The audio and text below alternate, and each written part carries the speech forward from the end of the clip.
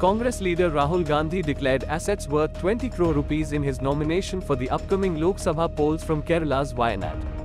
In the affidavit filed with election authorities, Gandhi said he owns movable assets worth over 9 crore.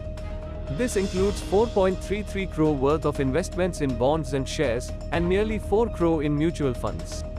However, the Gandhi scion has only 55,000 rupees in cash and owns no car or house.